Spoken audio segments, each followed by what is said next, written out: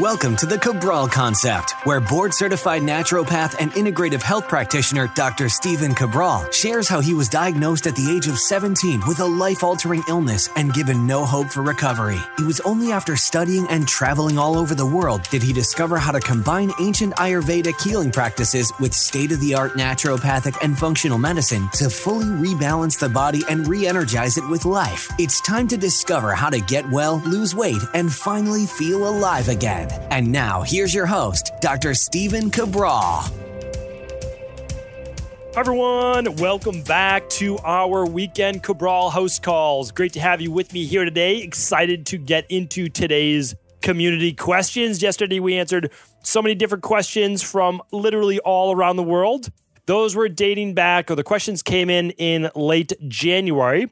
I know that that's obviously a few weeks behind, do keep in mind that every question that comes in does get answered, and we simply go in the order they've come in. And we answer somewhere between 15 and 20 questions each and every weekend. And we will be doing that for the foreseeable future, for however long this podcast goes, which I hope is uh, many, many, many years to come. So, what I want to do is hopefully you tuned into yesterday's show as well. But we answered a lot of great questions there. They're they're different, of course, every single weekend. But if we get the same question coming in, I simply refer people back to the search bar at stephencabral.com forward slash podcast. And we're hoping to do this in the future is we're actually going to take all the podcasts. Today is number 1164 for people wanting to head over to the show notes page and read all the questions along with us. It's at stephencabral.com forward slash 1164 today. Is we're going to take all of these 1,164 podcasts and probably when we get to around 1,200 or 1,300 or something, it should be done. And what this means is we're going to lump them into categories. So we're going to create archives. We're going to create ones on digestion. So all of that will be coming soon. Stay tuned. We're always taking your feedback. I don't want to stop doing the podcast. I hope you don't want me to stop doing the podcast either. So what I'd like to do is continue for the podcast to be a daily thing, but just make it easier for people to find the answers that they're looking for. All right. Let's get into today's questions. The first one is from Charity. Charity is asking I ordered a 14 day detox. The fifth day into the second week, I got sinus pressure and a cold. Mind you, I haven't been sick in probably 12 years, other than a minor cold, maybe once or twice. I woke up this morning and my left eye is a little bloodshot and red. Just wondering if it's a side effect of the detox. I've never seen anything like this. Thank you. All right. Yeah, happy to answer the question. So, you know, there's when people write in with sometimes things like this, they got a cold or their eye is bloodshot. It may have to do with the detox or it may have nothing to do with the detox. Like you never know. I mean, sometimes you get a virus and sometimes you get a cold and at the same exact time you were doing a detox. It's possible. But there's also the principle that's used in homeopathy and also the principle that's used in bioregulatory medicine as well as in traditional naturopathic medicine where the body begins to retrace steps and it begins to remove these things from the body. So, for people who used to have allergies, as you're doing a detox, you might feel some allergy based symptoms like histamines, like this, with an itchy eye or so. And for people that used to get headaches, you might get some headaches. And again, there's actually a little bit of study behind this, but not a ton right now.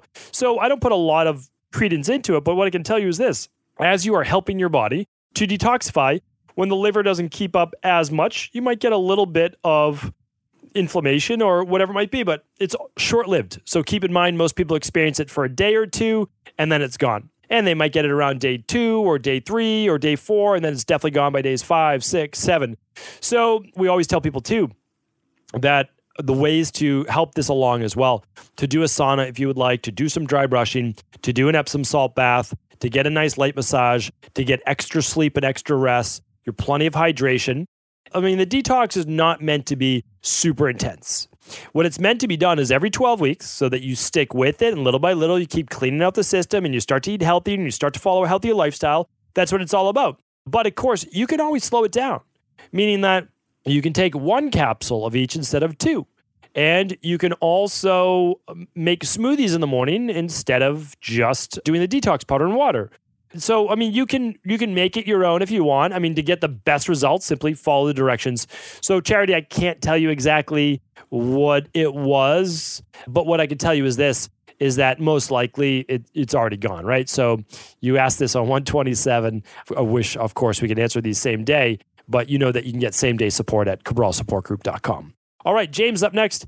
In my late 30s, and I've been dealing with asthma since childhood. I eat a healthy diet, lots of fruits and veggies. I'm dairy free, exercise on a regular basis. My asthma during the warm weather months is very controlled with medication. But like clockwork, every November, I start to suffer from nasal congestion, coughing, low energy, and seemingly low immune system. This seems to go on and on and for the winter months. I'm interested in finding the root cause of my asthma instead of constantly treating symptoms with meds. Do you have a protocol for asthma? So thank you, James, for writing in. So there's no direct protocol for asthma. What we do is we run a hair tissue mineral analysis and an organic acids test. And that allows us to look at your mineral levels, your zinc levels for sure for asthma and allergies, and then magnesium balance with calcium. Those are huge. If copper is elevated, copper can contribute to high copper levels can contribute to allergies and asthma. And then we want to look at heavy metals. The interesting thing that you wrote though is that they get worse in the winter. Well, Cold weather absolutely affects asthma. There's no doubt about that. However, there are such thing called winter allergies where sometimes they can kick up in the winter. Dust can kick up more in the winter. There's less of the airflow. We can also get sometimes it's usually more damper months, but there's possibility for more mold, especially as we're turning on that heat. So what I would do is I would get tested for some of those winter allergies as well. And as you reduce your total rain barrel, as you start to empty the rain barrel, what you'll find is that your asthma and your allergies uh, will be more controlled because they're they are lumped together, and that's because the inflammation begins to go down. One other thing you may want to run is an adrenal hormone test, and that's because people with lower levels of cortisol often have higher levels of asthma or allergies because cortisol is not all bad. It actually acts as a natural anti inflammatory. So I hope, James, you find your answer, and that is the place I would start. Stacy's up next. Stacy writing in Hi, my husband just finished the 21 day detox. Couple days before he finished the detox, I started getting vaginal itching and burning sensation around the opening of the vagina. I also had an increase in athlete's foot. I do experience these off and on, but they came back last week and I'm still dealing with it. Do you have any remedies that could work topically? Would you recommend the CBO protocol? Uh, can't afford the lab testing right now. Did a question on Facebook. A possible problem with starting the CBO protocol. We are going on vacation to Aruba March 9th to the 16th. I guess I was wondering what course of action should we take? I could copy and paste my Facebook. Nope, that's all right. I lost six to eight pounds on the detox. All right, fantastic.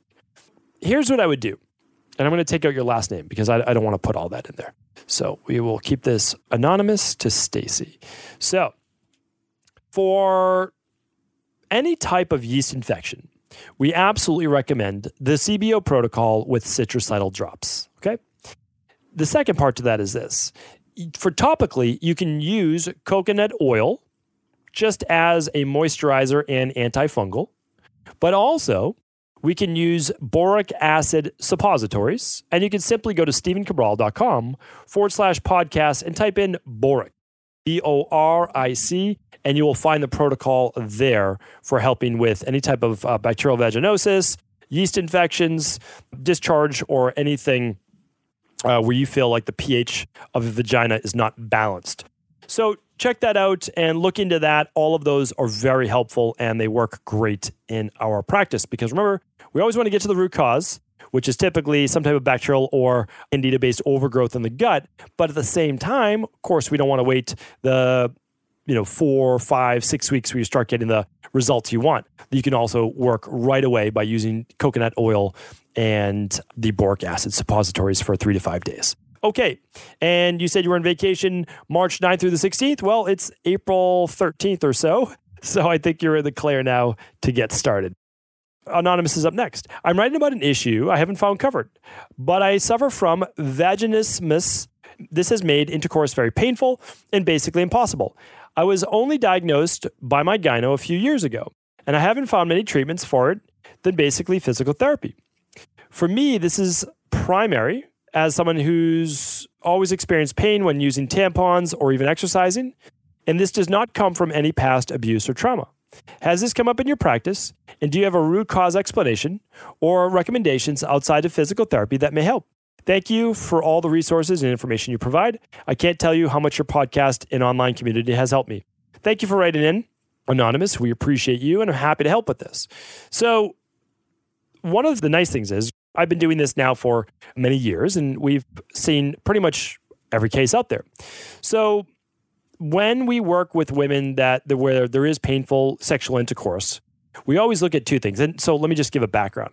Vaginismus, I don't even know if that's the correct pronunciation, but you can see it spelled at stephencabral.com forward slash 1164. But we do know that it's essentially inflammation and it's muscle spasms or contractions, typically called caused by the pelvic floor muscles. But keep in mind, when you do pelvic floor therapy, that can absolutely be very helpful. So, pelvic floor therapy is actually much more common now. I was in a practice before I started my own practice back in the day. And one of the therapists there was actually someone that did pelvic floor therapy. That's what she specialized in, and she was great at it. So here's what we found, though, to be much uh, that you can do that. But in conjunction, we want to look at okay, well, let's go back root cause wise. If this person's been having this issue, you know, for many years, a couple things. So, one is people hold tension and stress in different areas. Some people get constipated, some people get loose stool, some people get neck tension, some people get a queasy gut. So, there's all sorts of different things. I always look at what are the levels of stress. So, I'd love to run at a minimum a hair tissue mineral analysis. The max, you know, the, the best would be an adrenal hormone lab. But I also want to look at something else. I want to look at what's overall inflammation in the body. So I typically run an organic acids test for that. I'm just giving you labs that you may want to look at. You don't need to run them, but you may.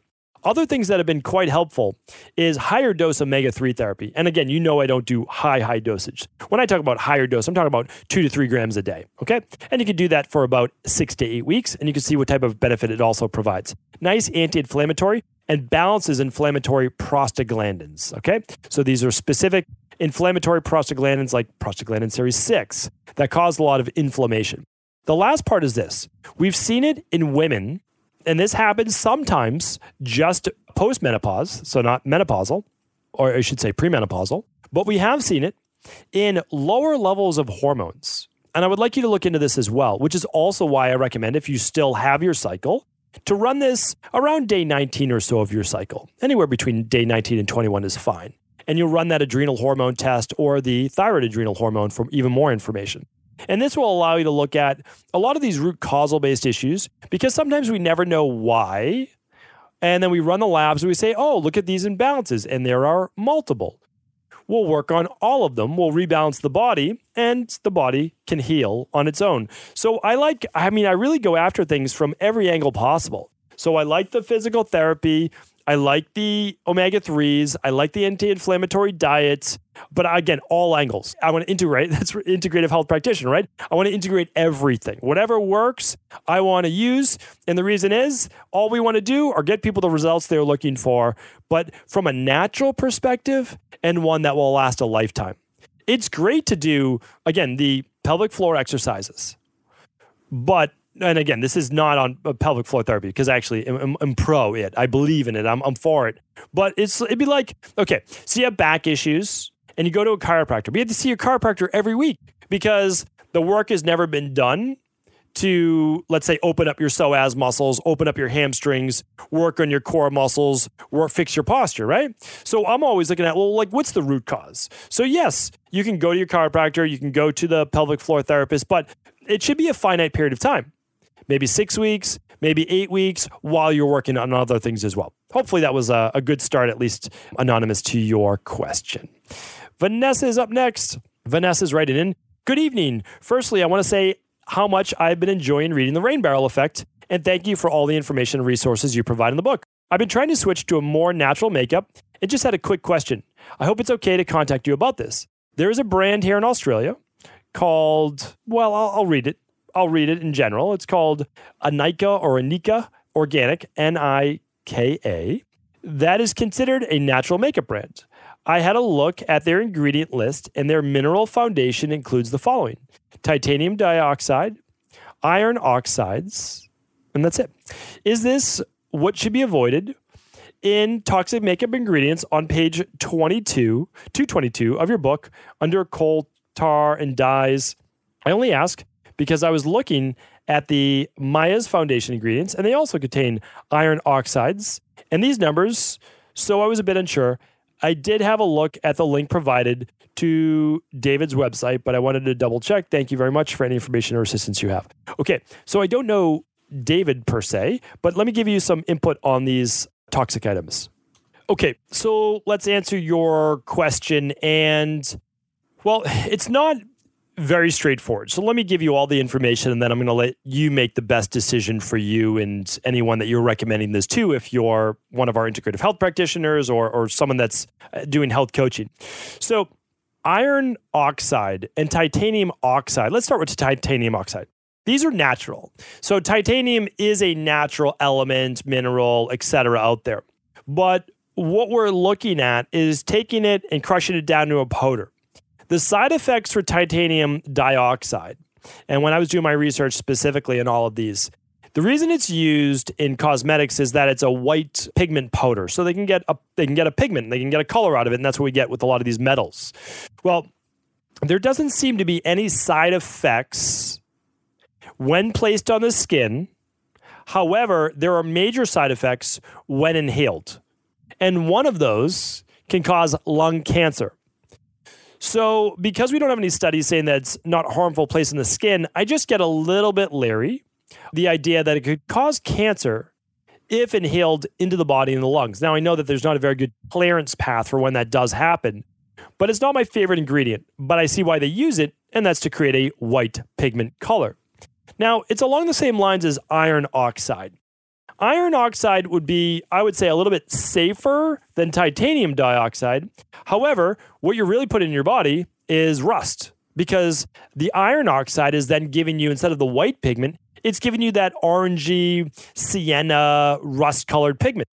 And so you're, you're placing uh, an oxidized, I mean, that's oxide, iron oxide right there. It basically means rust on your skin. So it is not an antioxidant, it's an oxidant, right? So they're not the best things to put on your body. How dangerous they are, I think there's there's not there's actually not a ton of research on both of those, but titanium di- dioxide there is research on it being swallowed which there's only tests right now on laboratory rats to my to my knowledge, but it does cause intestinal based inflammation and potential kidney issues. But uh, that, of course, it's higher dosage on a rat. They haven't found that in humans, but they have found it on inhalation. So, what is my recommendation? Well, I always want as clean as possible. Those two ingredients are not as clean as possible. So, it's a tough one for me because I know that you want to use something, but those are not on my clean list. So, Vanessa, that's that's where I stand.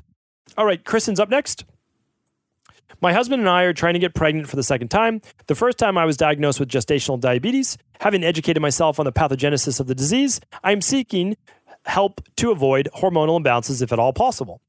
I understand most of this is due to placental hormone release, but I'm wanting to avoid it if I can control it with my diet, etc. I have a degree in, biomedic- in biomedical sciences so I can keep up with the lingo. If you wouldn't mind giving me any advice with an explanation of why to me, thank you so much. Yeah, absolutely. And this is a great, you know, this is a great question for everybody because, you know, a lot of people believe that gestational diabetes is only if you are overweight or that you eat processed food all the time. And don't get me wrong, that will absolutely affect it. Like you'll be at a higher incidence or rate for gestational diabetes. But I've worked with quite a number of women uh, who are more prone to gestational diabetes because of a number of factors. One, more of an endomorphic body type. Number two, more of a genetic predisposition. And, you know, number three is the diet was not as clean the first time around. So, what I've done is because we, we absolutely do not want to go low carb while pregnant, because then there's potential for greater release of cortisol, which we know affects the brain and growth of the fetus, of the fetal development. And we don't want to go too low carb as well because we would never want to get into a state of ketosis uh, while pregnant. That is not a healthy state to be in. So what we're looking to do is keep carbs in. We're absolutely going with predominantly a ve- predominance of vegetables. We're doing fruit and berries, and we are doing some root vegetables as well very low on the processed foods. We're going, I, I don't like snacking with gestational diabetes, so I'm trying to do three meals per day. We can add more if needed, absolutely. But remember, just because you do three uh, meals per day doesn't mean that has to change your calories. You can actually get the same calories in over three meals Uh, you just have more time to regulate blood sugar. And I'm still also a, a proponent of 12 hour fast while pregnant. I'm still a proponent of seven o'clock at night to seven in the morning. And you could even, you know, bump that from maybe 637 to eight in the morning just have to listen to your body on that for sure. Now, other things that can help. Of course, you want to be doing something like our daily nutritional support powder with a little bit of omega 3s, plus the, you can do the daily fruit and vegetable blend if you want, but you want to add that extra 400, 500 grams or milligrams of methylfolate for sure, or activated folate is what we call it.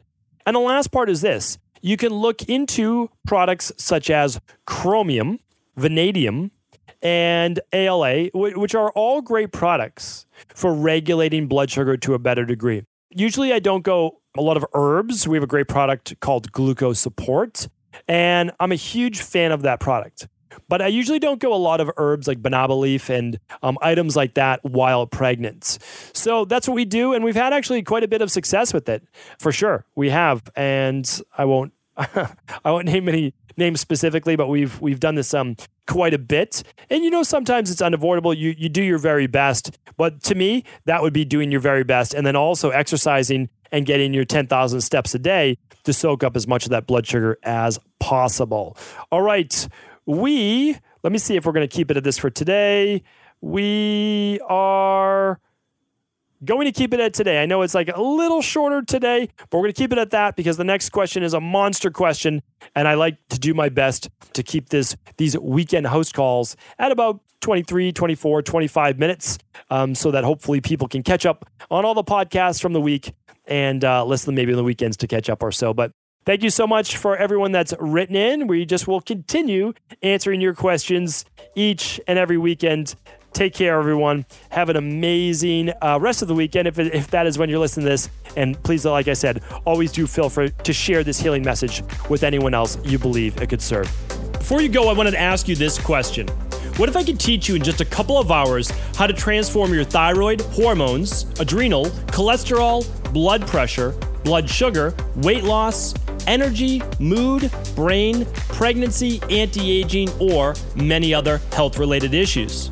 After 20 years in private practice, after seeing and overseeing a quarter of a million client appointments, I sincerely feel I have the real world data and have found the answer you've been searching for.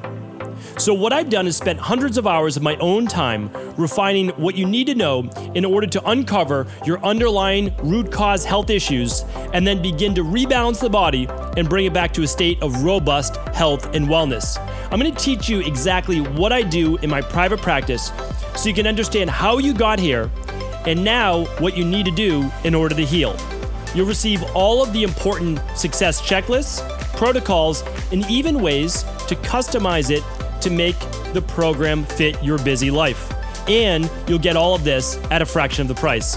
Let me save you the time, money, energy, stress, and frustration of not knowing what to do next. Instead of reading dozens of books on the topic and seeing multiple practitioners, I will condense everything that you need to know in just a few hours of video tutorials that you can watch and listen to anywhere. Together, we will make this healing process an enjoyable one that you can take with you for the rest of your life. I wish you all of the best of health and happiness, and I hope to be able to guide you on your healing journey through my health results accelerators. Simply choose the health imbalance you're currently suffering from, and by the end of today, you'll know what went wrong and how to get well again. I guarantee it. For details, head over now to stephencabral.com forward slash courses.